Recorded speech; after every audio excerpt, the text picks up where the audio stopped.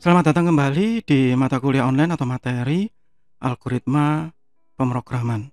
Saat ini kita ada di bab mengenai algorithm and flowchart. Bagi Anda yang mengikuti video ini dari playlist series uh, bab mengenai algoritma pemrograman, maka Anda akan menemukan video ini ada di bagian akhir. Ya, padahal biasanya uh, bab ini ada di bagian awal dari materi algoritma pemrograman. Ya, uh, ini memang sengaja saya tempatkan di bagian akhir, ya dengan asumsi, ya dengan asumsi bahwa memang uh, ini seharusnya ada di bagian akhir, bukan di bagian awal. Ya, karena kalau ada di bagian awal ya biasanya eh, mahasiswa ataupun yang pertama kali belajar ya yang pertama kali belajar tentang pemrograman itu akan merasa kesulitan merasa kesulitan dalam artian saat disuruh membuat gambar atau disuruh eh, mengimplementasikan misalkan pesidukut begitu ya itu akan membayangkan saat dikasih eh, simbol percabangan misalnya. Nah, simbol percabangan itu seperti apa?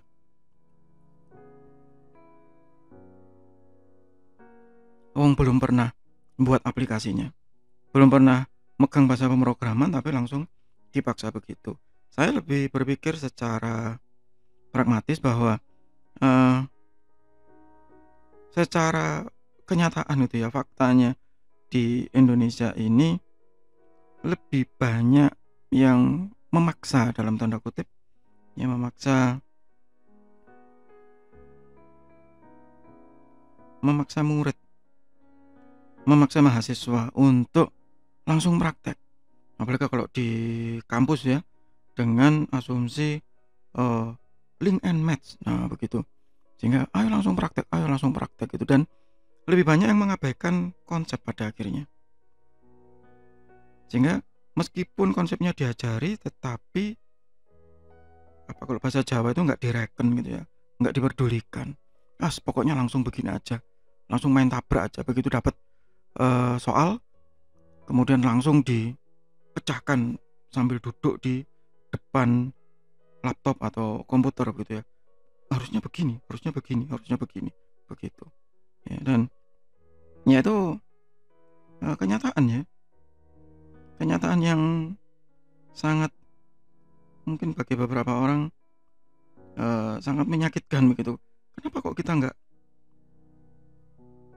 nggak belajar konsepnya dulu begitu? Ya. Nah itu yang yang pertama alasannya. Kemudian yang yang kedua begitu uh, pelajar di Indonesia gitu ya termasuk saya juga gitu kalau belajar itu sering kali tidak apa ya tidak menghiraukan konsep. Ya kenapa kok tidak menghiraukan konsep? Ya karena memang kita tidak diajarkan bahwa konsep itu penting. Itu sejak sejak awal ya kok kok bisa gitu kalau anda tanya ke saya? Karena kita selalu diajarkan untuk menghafal ya bukan untuk memahami bukan untuk melakukan. Ya, dan mungkin yang kurikulum sekarang ini agak-agak lumayan ya yang tematik ini. Kalau saya lihat ya cukup cukup bisa lah begitu untuk me memaksa murid atau siswa untuk melakukan sesuatu sama seperti ini. Karena sebenarnya teorinya dari algoritma dan flowchart ini sangat sederhana tetapi faktanya tidak. Ya bahwa kita kalau terjun ke pemrograman kita sebenarnya hanya punya uh, dua fase.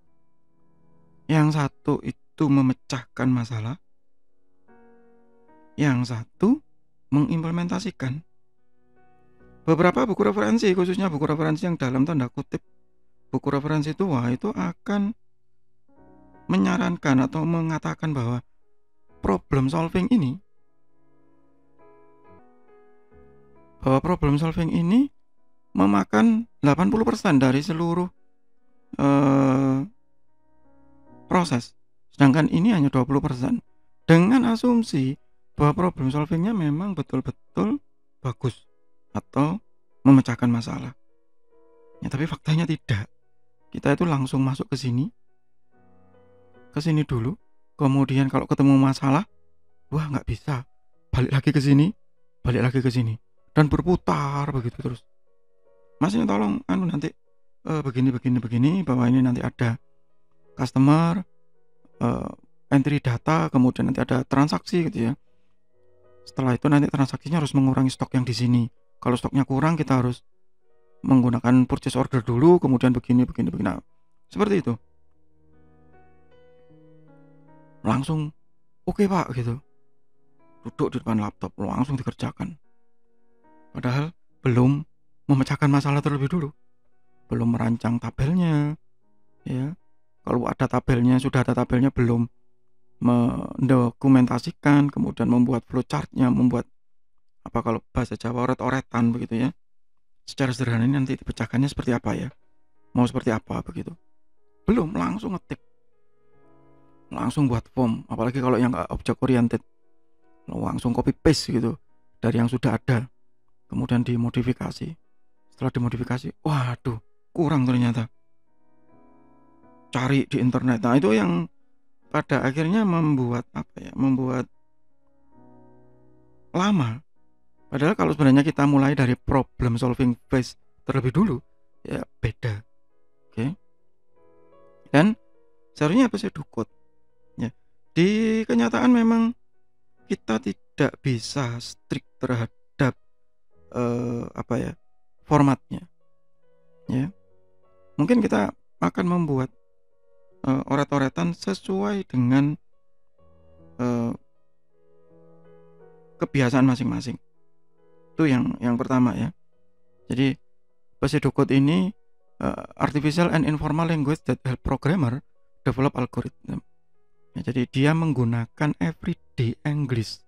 Kalau kita di bahasa Indonesia ya gunakan everyday Indonesian begitu. Kita menggunakan bahasa sehari-hari Indonesia saja yang bisa dipahami tidak hanya oleh kita, tetapi oleh anggota tim kita kalau memang kita dalam tim. Ya. Kalau Anda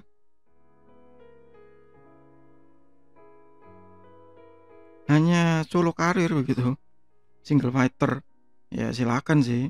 Mungkin beberapa teori yang saya ajarkan ya tidak berlaku wong sendirian tapi kalau anda mengerjakan proyek sendirian sampai berapa besar seberapa kuat kita mengerjakan semuanya sendirian berapa banyak waktu yang kita miliki begitu ya itu yang harus diingat terlebih dulu contoh misalnya ya seperti ini contoh awal saya ya an algorithm to determine a student final grade. Ya, kemudian ini lulus atau enggak ya, whether it is passing or failing. Kemudian di rata-rata misalnya begitu. Ya kita nulis saja. Ya, nulis seperti biasa saja. Nulis seperti kata-kata biasa. Pertama di entry empat nilai, input a set of four mark.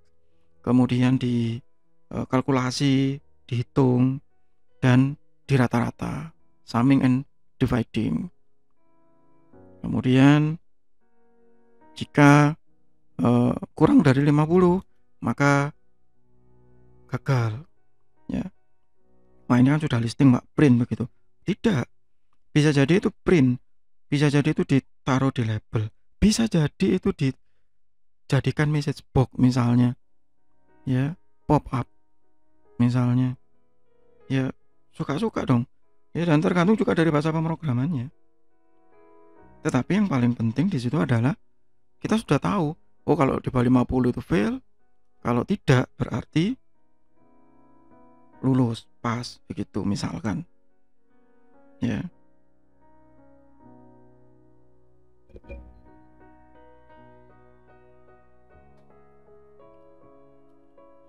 Nah, kalau didetailkan begitu, sudah masuk ke implementasi ya maka kita harus punya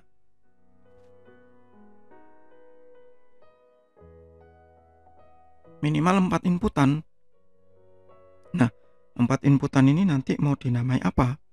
Misalnya di contoh ini namanya M1, M2, M3, M4 kemudian kita punya variabel ya gitu. Variabel namanya grade misalnya. Grade ini dari M1 sampai M4 dijumlahkan kemudian dibagi 4 misalnya. Kemudian nanti variabel grade tadi di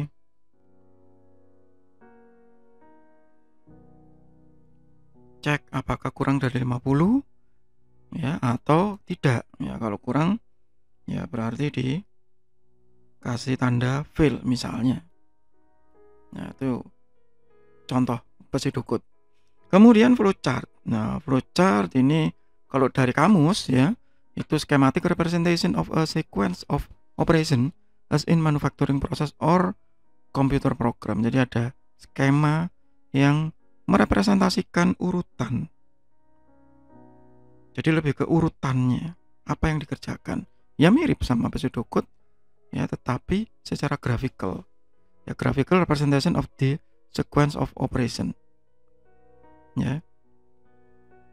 Dan biasanya beberapa orang gitu ya memilih mau pakai pseudocode atau mau pakai flowchart. Ya, mau pakai dua-duanya ya silahkan begitu tapi ada yang bilang mubazir pak gitu kita cukup salah satu saja silahkan yang paling penting tujuan utamanya dari kedua perangkat ini mau dokut atau mau flowchart itu sama yaitu apa? Mempermudah problem solving. Itu kuncinya. Jadi ini bukan mempersulit bukan memperlambat tapi ini mempermudah. Dan kalau mempermudah seharusnya mempercepat. Demikian eh, bagian pertama dari algoritma dalam flowchart. Masih di mata kuliah online atau materi? Algoritma pemrograman. Semoga bermanfaat, tetap sehat, tetap semangat. Terima kasih.